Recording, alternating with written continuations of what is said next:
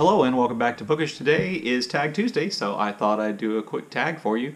This is the short story tag. It was originated by the people over at Literary Gladi- Gladiators, and I was tagged to do this tag by Marc Nash. I'll leave links to their uh, tag videos down below as well as the questions. So um, I'm afraid my answer to the short story uh, tag prompts are going to be incredibly conventional, which it's possible. I'm incredibly conventional, so there we go. So, question number one is Do you read and write short stories or just read them? Uh, I do both. Uh, I really enjoy reading short stories. As a matter of fact, there was a time.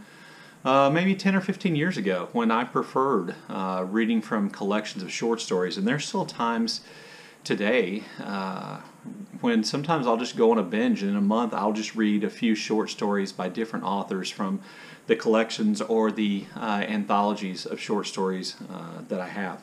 Uh, and I really enjoy that. And occasionally uh, I write a short story just because I think it's fun or because there's an idea that I have in my head and I want to kind of see how it works out if I try to write the story. Uh, and I enjoy that. It's, it's, it's something I do mostly for pleasure and not too seriously.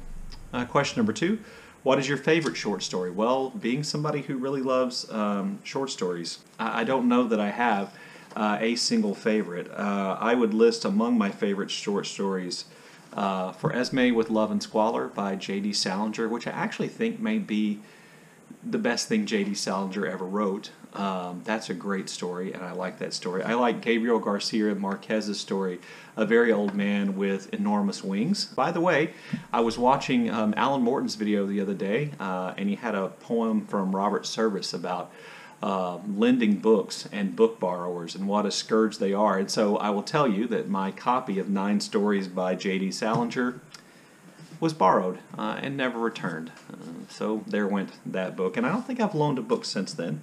Uh, in addition to that, uh, I have a whole video about Hemingway's Big Two Hearted River, Part 1 and 2.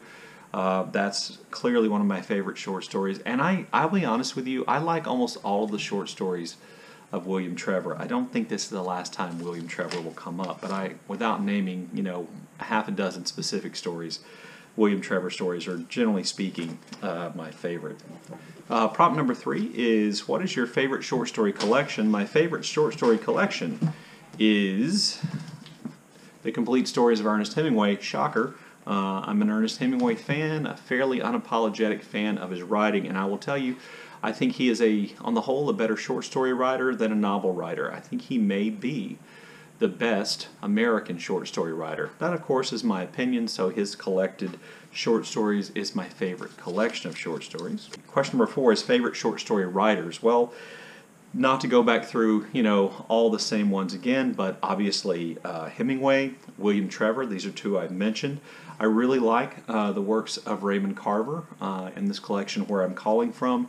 There's some great stories in there, and I think Carver was capable of writing great short stories. One of my favorite collections and one of my favorite short story writers, and again, someone I think of as one of the great American short story writers was John Cheever. So I own this relatively boring looking copy of the stories of John Cheever. Uh, I thought those were great. I enjoy Eudora Welty's short stories. Again, she's a great short story writer and not a particularly great novelist. And I could say the same thing about Flannery O'Connor. I think Flannery O'Connor was a great short story writer. Um, so you'll notice that there's a certain uh, element of American classics to my uh, short story list of favorites. There aren't a lot of modern short stories or modern short story writers that I, I particularly like. And I'm not sure if that's because I haven't read enough of them or simply because they're not that good. I did read George Saunders' collection um, December 10th. George Saunders, uh, famous for winning the Booker Prize for Lincoln in the Bardo. And I'll be honest with you, I, I wasn't particularly impressed with his short stories, which is kind of, you know, where he made his name and his reputation. Uh, prompt number five is let's see, favorite outlet for finding short stories. I used to have a subscription to the New Yorker, and that was one place where I found new authors and new short stories. But the New Yorker is is comes out every week, and it's like getting a 120 page book to read every week on top of the books I wanted to read. And so I found that you know the older I got and the more uh, I got into my working and other responsibilities, less time I had for the New Yorker. So I did let my New Yorker subscription uh, die. Sometimes I, I, do read the New York Times book review uh, and look over that, and sometimes I find new authors and stories there. Or you know sometimes I hear about an author, uh, maybe I hear about them because they wrote a novel, which is you know popular at the time or is kind of uh, in the news, and so I, I will find short story collections by them and read those as well. Problem number six is how short do you like your short story? So it really doesn't matter to me. What I'm really more opposed to is a really long short story. If it's novella, you know, make it a novella. Um, don't write a 75 page short story or maybe even a 55 page short story and call it a short story. I think Fitzgerald and Faulkner were both guilty of this. And then really, and I, I, I, mentioned this to Marc Nash in a comment, I think, as well. And really, it just feels like you're you're doing a trial run of a novel and you're not really writing a short story uh, at all. And that, that kind of bothers me. So, question seven is what uh, makes for a good short story? So, part of it is uh, respecting the form of the short story and treating the short story as its own art form, its own literary form and respecting not the conventions necessarily, but respecting what has to be in a short story. You have to create characterization quickly, and I have to come to care about these characters um, quickly. You have to, I think, create a world um, as quickly as you can and in as few words as you can. And I think with short stories, when you read them, one of the things that if you like to read stories, you become accustomed to doing is kind of filling in the blanks, taking a little description.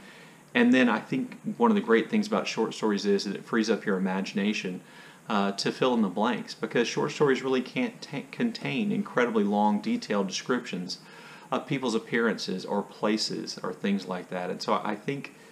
I think a good short story is able to create characters I care about and a story that I want to know the end of um, and to do that as efficiently as possible.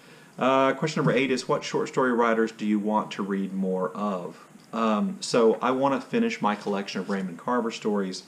Uh, I just, uh, for the Irish read along, started reading some Edna O'Brien stories. I definitely want to read more from her. And then um, Lorrie Moore is a writer whose stories I want to read. The fellows at Stripped Cover Lit did a a video about her story. I think it's called How to Become a Fiction Writer or How to Write Fiction. And that story and their discussion of it really made me want to read more Lorrie Moore. So I need to remember that the next time I'm book shopping to look for works by her. So then prompt number nine is who do you tag? And I don't always tag people, but I want to do that this time. I want to tag some people in part to draw attention to a couple of new channels that I found, and in part because I'm interested in seeing people's answers. So the first person I want to tag is I'm sorry I don't I don't know your name is I want to tag Hardcover Hearts. Uh, this is a new channel uh, I've that I saw recommended somewhere else, and I really like her channel and her videos, and I'd like to see her answers to these questions if you read short stories. Uh, also, Jennie Johnston. Jennie Johnston is an also a new channel, and she does some great reviews and just some really interesting stuff in the few videos of hers that I've seen and the videos that she's done. So I'd like to see, you know, she reads short stories and her reaction. And then people have been around a little bit more. David Murphy has a really interesting channel. Um, he's a young man who I think is getting an advanced degree in finance of all things, which, by the way, just David, if you see this, I have to be honest with you. I can't imagine anything uh, that I would like less than that. I, I took a accidentally took a finance class in college, and uh, it it was almost uh, the end of me as a college student. And then I also want to tag Richardson Reads uh, because uh, he reads widely, and I'd be interested to know his opinion about short stories and what his favorites are. Anyway, there's my version of the short story tag. Um, I appreciate you watching, and I look forward to your comments down below.